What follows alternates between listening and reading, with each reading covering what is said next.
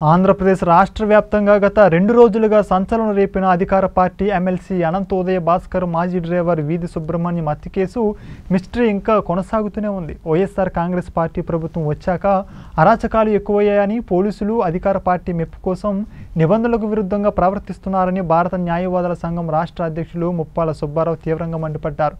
దీనిపై Muppala సుబ్బారావుతో ninety news regional bureau Cherukudi Anil Kumar face to face. గత రెండు రోజులుగా ఆంధ్రప్రదేశ్ రాష్ట్ర వ్యాప్తంగా సంచలనం రేకెత్తించిన అధికార పార్టీకి సంబంధించిన ఎమ్మెల్సీ అనంత ఉదయ భాస్కర్ మాజీ డ్రైవర్ వీధి సుబ్రహ్మణ్యంకి సంబంధించినటువంటి మర్డర్ మిస్టరీ కేసు ఇంకా కొనసాగుతూనే ఉంది. అంటే ఇక్కడ ప్రధానంగా జరుగుతున్నటువంటి అంశం గురువారం సాయంత్రం తమ కొడుకుని అనంత ఉదయ భాస్కర్ తన కారులో తీసుకువెళ్ళారు. అంతకుముందు కొంతసేపటి క్రితం మీ అబ్బాయిని జాగ్రత్త అంటూ బెదిరింపులకు గురి చేశారు. మరి ఇలాంటి వ్యక్తి అదే రోజు గురువారం అర్ధరాత్రి తమ కొడుకుని శవాన్ని తన కారులో తీసుకువచ్చి రోడ్డు మీద ప్రమాదం జరిగింది. ఆ ప్రమాదంలో తను చనిపోయాడు. అని చెప్పి ఆ కుటుంబానికి మృతదేహాన్ని తన కారుతో సహా అక్కడ వదిలి వెళ్ళిపోయిన ఘటన రాష్ట్రం మొత్తం సంచలనం రేకెత్తించింది. కానీ బాధిత దళిత కుటుంబం ఏదైతే ఉందో ఇప్పటి వరకు వాళ్ళకి ఎటువంటి న్యాయం జరిగిన దాఖలాలు అయితే లేవు.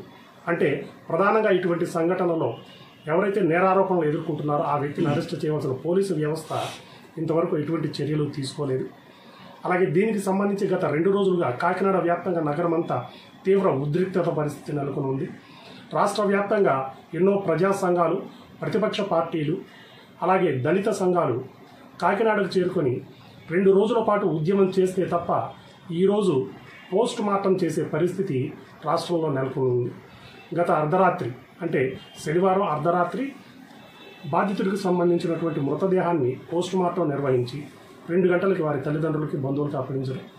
ఈరోజు ఉదయం అంటే ఆదివారం ఉదయం అనపర్తి నియోజకవర్గం జీమామేడకు సంబంధించి వారి స్వగ్రామంలో అంత్యక్రియలు నిర్వహించడం జరిగింది. కానీ ఇక్కడ ప్రధానంగా తెలుసుకోవాల్సినటువంటి ముఖ్యమైన విషయాలు ఏవైతే ఉన్నాయో ఇవి భారత న్యాయవాదుల సంఘం రాష్ట్ర అధ్యక్షులు అలాగే పౌర హక్కుల సంఘం రాష్ట్ర అధ్యక్షులు ఉప్పాడ సుబ్బారావు గారు అడిగి తెలుసుకుందాం. ఒకటి అధికార పార్టీకి సంబంధించినటువంటి ఎమ్మెల్సీ అనంతబాబు ఎవరైతే ఉన్నారో అతను మాజీ డ్రైవర్ సుబ్రహ్మణ్యాన్ని తీసుకువెళ్ళటం అదే రోజు రాత్రి మళ్ళా శవాన్ని వెనక సీట్లో పెట్టుకొని తీసుకొచ్చి తల్లిదండ్రులకు అప్పగించడానికి ప్రయత్నం చేయడం సంఘటన ఒక సంచలనం కలిగించిన అంశం. అయితే ఇక్కడ చాలా స్పష్టం. అసలు అనంతబాబు చెప్పేదాని ప్రకారం సుబ్రహ్మణ్యం ఒక ప్రమాదంలో యాక్సిడెంట్లో చనిపోయాడు అని చెప్తూ ఉన్నాడు. తల్లిదండ్రులు భార్య ఆ యొక్క చెప్పిన మాటల్ని నమ్మలే. అసలు ఇక్కడ ఒక విషయం. ఈయన ఎమ్మెల్సీ అధికార పార్టీకి చెందిన వ్యక్తి ఆ హోదాలో ఉన్న వ్యక్తి ఎక్కడైనా ప్రమాదం జరిగింటే నిజంగా అక్కడ మనిషి చనిపోయి ఉంటే ఫస్ట్ చేయవలసిందేంటి? పోలీసు వాళ్ళకి ఇన్ఫామ్ చేయాలి. చనిపోయిన తర్వాత ఆ శవం దగ్గర శవ పంచనామా చేయాలి. తర్వాత పోలీసు వాళ్ళ సహకారంతో పోస్ట్ మార్టానికి తీసుకువెళ్ళాలి. కానీ ఎమ్మెల్సీగా ఉండే నువ్వెందుకు నీ కారులో తీసుకొచ్చేసి పోలీసు వాళ్ళకి తెలియపరచకుండా ఎందుకు తల్లిదండ్రులకు అప్పగించి దహన సంస్కారాలు చేసుకోమని చెప్పేసి నీ ఒత్తిడి తీసుకొచ్చావు? ఇది ఒక భాగం. ఆయన అనుమానించాలని కావాల్సిన పరిస్థితులు రెండోది పోలీసు వాళ్ళు కూడా చాలా స్పష్టంగా ఎక్కడైతే ప్రమాదం జరిగిందని చెప్తూ ఉన్నాడో అనంతబాబు ఆ ప్రాంతంలో ఎటువంటి ప్రమాదం జరగలేదు అని నిర్ధారణకు వచ్చేసారు. అంటే అనంతబాబు తను చంపివేయించేసి లేక చంపివేసి ఆ యొక్క వాస్తవాలని ప్రక్కదోవ పట్టించడానికి వక్ర మార్గం పట్టించడానికి ప్రయత్నం చేశాడు అనేది చాలా స్పష్టంగా కనపడతా ఉంది. అలాంటప్పుడు పోలీసులు ఏం చేయాలి?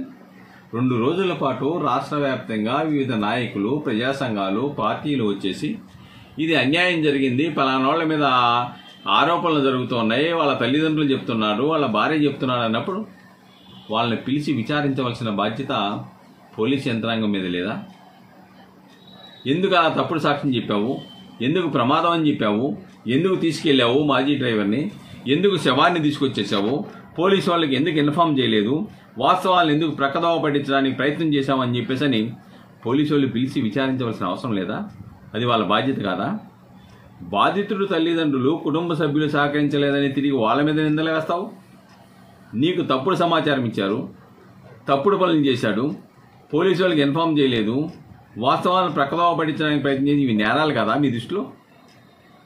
కానీ ఇక్కడ ఉద్యమాలు జరుగుతూ ఉంటే దళితుల యొక్క హత్య మీద ఆందోళన చెందుతూ ఉంటే ఆయన స్వేచ్ఛగా పెళ్ళిళ్ళకి హాజరైపోయి ఎంజాయ్ చేయడానికి మీరు అనుమతించారంటే పోలీసులు ఎంత గొప్పగా బాధితులకి బాధితుల తరపున లేకుండా ముద్దాయి తరపున ఆరోపణలు ఎదుర్కొన్న వ్యక్తికి సహకరిస్తున్నారో చాలా స్పష్టంగా అర్థమవుతా ఉంది. ఇది ఒక భాగం. రెండోది అర్ధరాత్రి. మీరు ఏ విధంగా పోస్ట్ మార్టం చేయిస్తారు? ఎందుకు అంత ఆదరాబాదరగా చేయించిన అవసరం వచ్చింది? ముద్దాయిని అరెస్ట్ చేసి తీసుకురావాలి. ముద్దాయిని కస్టడీలోకి తీసుకోవాలి విచారించాలి. కానీ నాలుగైదు వ్యాన్లలో వెళ్ళి బాధితుడి యొక్క కుటుంబ సభ్యులు ఏ ఊర్లో ఉన్నారో వెళ్ళి ఎతికి వాళ్ళని వ్యాన్లో ఎక్కించుకొని తీసుకొచ్చి హాస్పిటల్లో కూర్చోబెట్టేసి మీరు శవ పంచనామా చేయడానికి లేకుంటే పోస్ట్ మార్టం చేయడానికి అంగీకరిస్తూ మీరు సంతకాలు కనుక పెట్టకపోతే మిమ్మల్ని హాస్పిటల్ నుంచి బయటికి పంపమంటారా? ఆ అమ్మాయి మీద దాడి చేస్తారా? కొడతారా? ఏంటిది? ఎక్కడున్నాం? ఏ వ్యవస్థలో ఉన్నాం మనం? బాధితుల మీద దాడి చేయటం బాధితులను బెదిరించడం బాధితుల్ని ఇబ్బంది పెడతాం బాధితుల్ని భయోత్పాదక వాతావరణాన్ని సృష్టించడం ఇదా పోలీసులు చేయవలసిన అవసరం.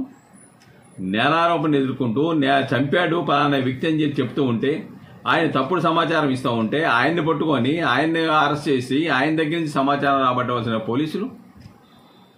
బాధిత కుటుంబాన్ని నేరస్తులుగా చూసేంటి దౌర్భాగ్యమైన పరిస్థితి ఇక్కడ ఏర్పడిందంటే బాధాకరంగా ఉంది. ఇటువంటి వాళ్ళు కేసు విచారణ చేసి ఏం ఉద్ధరిస్తారని అడుగుతూ ఉన్నాం. ఈ న్యాయం జరుగుద్దా అని అడుగుతున్నాం. కాబట్టి డెఫినెట్గా అధికార పార్టీ యొక్క ఒత్తిడి అధికార పార్టీ యొక్క ప్రభావం డెఫినెట్గా పోలీసు వాళ్ళ మీద ఉంటుంది. ఆయన హోదా కూడా అధికార పార్టీ ఎమ్మెల్సీ కాబట్టి ఆయన్ని రక్షించడానికి కావాల్సినటువంటి చర్యలు శక్తివంచన లేకుండా ప్రయత్నం చేస్తారు పోలీసులు. అందుకే నిజ నిర్ధారణ కమిటీ అని వస్తే భీమారావు అనే డిఎస్పి వాళ్ళ మీద దౌర్జన్యంగా లాఠీచార్జ్ చేస్తారా ఎక్కడన్నా ఉందా ఇది? బాధితులకు అనుకూలంగా బాధితులకు రక్షణగా ప్రజా సంఘాలు వస్తాయి పార్టీలు వస్తాయి ప్రతిపక్షాలు వస్తాయి.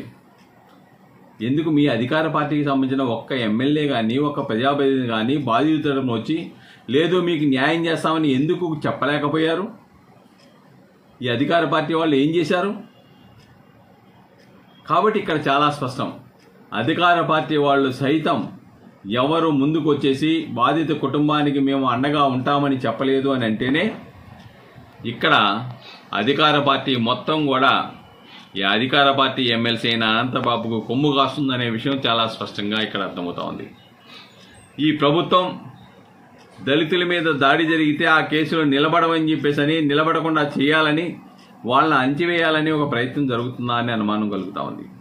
ఇప్పటివరకు అధికార పార్టీకి సంబంధించిన నాయకులు ఎవరు కూడా ఈ దళిత కుటుంబానికి సంబంధించి వాళ్ళ కుటుంబాన్ని పరామర్శించడం కానీ ఎటువంటివి చేయకుండా కొంత ఈ కేసును తప్పుదోవ పట్టించే విధంగా కూడా కొంత లాబింగ్ చేశారు అనేది బయట విమర్శలు వస్తున్నాయి. అలాగే ఇప్పుడు ప్రస్తుతం అయితే జరుగుతున్న పరిణామాలు పోలీసు వ్యవస్థ పూర్తిగా అధికార పార్టీకి సంబంధించిన వారికి సహకరిస్తోంది. బాధిత కుటుంబానికి అండగా నిలిచే పరిస్థితి. ఇలాంటి నేపథ్యంలో కేసు విచారణ ఏ విధంగా ఉండాలని రాష్ట్ర ప్రభుత్వాన్ని డిమాండ్ చేస్తున్నారు?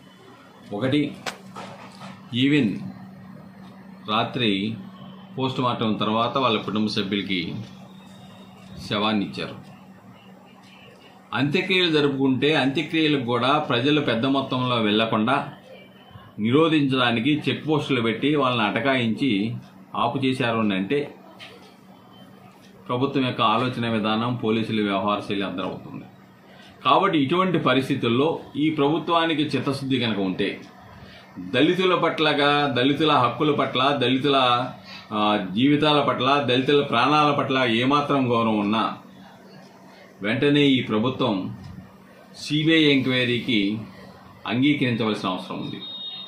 దీని మీద సిబిఐ ఎంక్వైరీ జరపవలసిన అవసరం ఉంది. అప్పుడే వాస్తవాలన్నీ వెలుగుదొస్తాయి.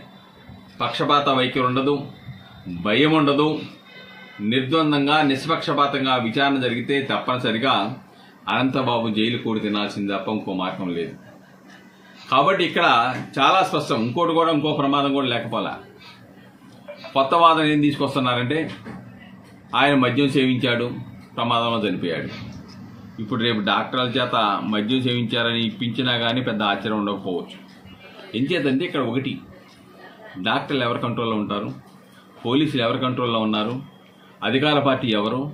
అధికార పార్టీ ఎమ్మెల్సీ మీద వ్యతిరేకంగా ప్రభావం వాళ్ళు రాసేవంటి ధైర్య సాహసాలు చేస్తారని అనుమానం కలుగుతూ ఉన్నాయి. ఇక్కడ చాలా స్పష్టం. ఇలాంటి సంఘటనలో గ్రూప్ ఆఫ్ డాక్టర్స్తో పోస్ట్ మార్టం చేయించడం లేకపోతే ఆ యొక్క పోస్ట్ మార్టంని వీడియోగ్రాఫ్ చేయించడం లాంటివి జరగాలి. అయినా అర్ధరాత్రి ఎక్కడైనా కానీ ఆ డాక్టర్లు వచ్చి పోస్ట్ మార్టం చేసిన సంఘటనలు ఉన్నాయా? ఎందుకు అంత ఆతృతగా ఎందుకు అంత అత్యవసరంగా ఎందుకు మీరు ప్రయత్నం చేశారు? అదేమంటే వాళ్ళు చెప్తున్నారు మాకు ప్రభుత్వం నుంచి ఒత్తిడి వస్తూ ఉంది అధికారుల నుంచి ఒత్తిడి వస్తూ ఉంది. ప్రభుత్వం నుంచి అధికారుల నుంచి ఏం ఒత్తిడి వస్తుంది? కేసును ప్రకదవ పెట్టించమని అధికార పార్టీకి సంబంధించిన ఎమ్మెల్సీని కాపాడమని పోలీసు వాళ్ళకి ఆదేశాలు వస్తాయి పోలీసు వాళ్ళకి ఒత్తిళ్ళు వస్తాయి. కాబట్టి పరోక్షంగా పోలీసు వాళ్ళే చాలా స్పష్టంగా చెప్తా ఉన్నారు. లేదు మా మీద ఒత్తిళ్ళు వస్తున్నాయని చెప్పి చెప్తూ ఉన్నారు. కాబట్టి ఇక్కడ డెఫినెట్గా ఈ పోలీసు వ్యవస్థ కనుక విచారణ జరిపితే సక్రమంగా కేసు విచారణ జరగటం దోషులు శిక్షించబడటం జరిగే నమ్మకం అయితే నాకు లేదు. రెండోది ఇంకోటి ఏంటంటే మనం చూసాం సీతానగరంలో శిరోమణం కేసు. దాంట్లో వైఎస్ఆర్సీపీకి చెందినటువంటి వ్యక్తులే నాయకులే దొంగ అక్రమ ఇసుక వ్యాపారంలో బెదిరించాడని చెప్పేసి ఆయన్ని పోలీస్ స్టేషన్లో పెట్టి గుండు గీకించారు. ఆ బాధితుని అరెస్ట్ చేయమని ఆందోళన చేస్తే అరెస్ట్ చేస్తున్నాం చేస్తున్నాం అన్నారు. చివరికి మాకు దొరకలేదని హైకోర్టులో ఆయన పిటిషన్ వేసుకొని నాట్ టు అరెస్ట్ అని చెప్పేసి ఆదేశాలు తెచ్చుకోవడానికి పోలీసు వాళ్ళు సహకరించారు. దానికి ప్రభుత్వం సహకరించింది. రేపు ఈ కేసులో కూడా ఎస్పీ కానీ ఇలాంటి పోలీసులు కానీ ప్రత్యేక టీములు పెట్టి ఆయన నిఘా పెట్టి అరెస్ట్ చేసే పరిస్థితులు ఉత్పన్నం కావు. డెఫినెట్గా ఆయన న్యాయస్థానానికి వెళ్తాడు. న్యాయస్థానంలో అతను బెయిల్ రావడానికి పోలీసులు పూర్తిగా సహకరిస్తారు. ప్రభుత్వం సంబంధించిన నియమించిన పీపీఏ కాబట్టి పీపీ కూడా సహకరించడానికి ప్రభుత్వం కూడా ఒత్తి వాళ్ళ మీద ఒత్తిడి తీసుకురావడానికి కావాల్సిన ప్రయత్నాలు చేస్తుంది. ఏదేమైనప్పటికి కూడాను ఇక్కడ సిబిఐ ద్వారా విచారణ జరపడం ఒక భాగం. రెండోది ఈ అనంతబాబు మీద అనేకమైన ఆరోపణలు ఉన్నాయి ఆదివాసీ ప్రాంతాల్లో అక్రమ మైనింగ్ దగ్గర నుంచి చేపల చెరువుల దగ్గర నుంచి బెదిరించడం దగ్గర నుంచి ఏ విధంగా వందల ఎకరాలు చేపల చెరువులు చేస్తాడు ఈయన. ఈయన పరిస్థితి ఏంటి? ఇతని గతంలో కూడా చూసాం ఒక్కోసారి ఒక్కొక్క కులం మారుతాడు. ఒకసారి షెడ్యూల్ ట్రైబ్ అంటాడు. ఒకసారి బీసీ అంటాడు. ఇప్పుడు కాపు హోదాలో ఈ రోజున ఎమ్మెల్సీ సంపాదించాడు. కాబట్టి అతని ప్రవృత్తి చాలా స్పష్టంగా అర్థమవుతుంది. నిజాయితీ కూడిన పనులు చేయటం లేదు. కాబట్టి ఆయన వ్యవహార శైలి అంతటి మీద కూడా సమగ్ర విచారం జరిపేసి ఆయన చేసే అక్రమాల మీద కూడా చర్యలు తీసుకోవాల్సిన అవసరం ఉంది. ఆ విధంగా తీసుకున్నప్పుడు మాత్రమే నీతి నిజాయితీకి ఈ ప్రభుత్వం ఉందని ప్రజలు భావిస్తారు తప్ప ఆ విధంగా చేయకుండా ఆయన రక్షిస్తే ఇది దళిత వ్యతిరేక ప్రభుత్వంగా ముద్రపడే ప్రమాదం ఉంది.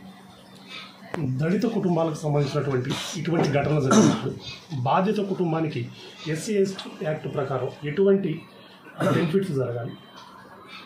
ఒకటి చాలా స్పష్టం.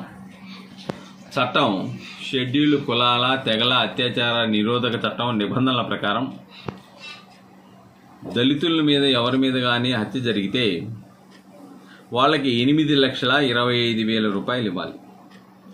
పోస్ట్ మార్టం జరిగిన వెంటనే ఫిఫ్టీ పర్సెంట్ ఇవ్వాలి. షీట్ వేసిన తర్వాత మిగిలిన యాభై శాతం సొమ్ము బాధిత కుటుంబాలకు చెల్లించాలి. అంతేకాకుండా బాధిత కుటుంబంలో విడో ఎవరైతే ఉన్నారో లేకుంటే ఆయన మీద ఆధారపడే వాళ్ళు ఎవరైతే ఉన్నారో వాళ్ళకి నెలకి ఐదు వేల రూపాయలు పెన్షన్ ఇవ్వాలి.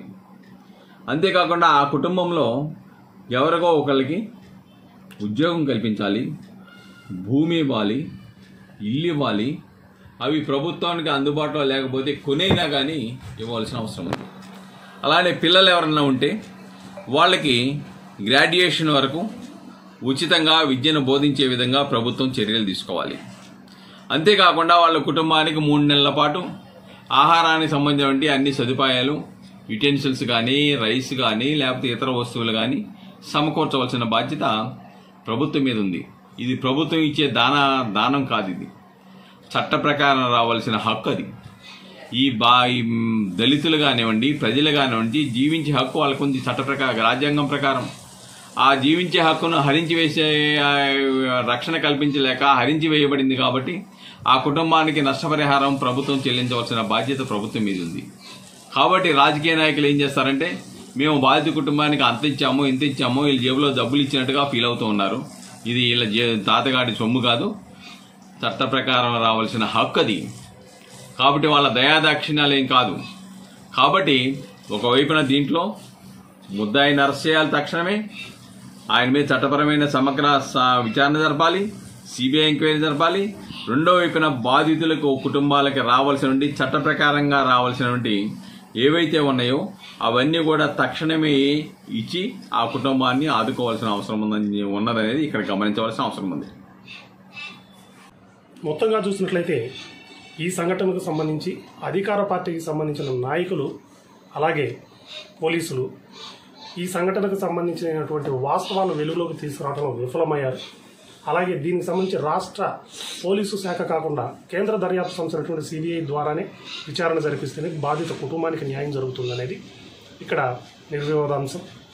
అలాగే ఇప్పటికీ ఆ కుటుంబానికి సంబంధించి రాష్ట్ర ప్రభుత్వం నుంచి ఎటువంటి న్యాయపరమైన బెనిఫిట్స్ జరగాలో అవి కూడా ఇంతవరకు అందలేదు.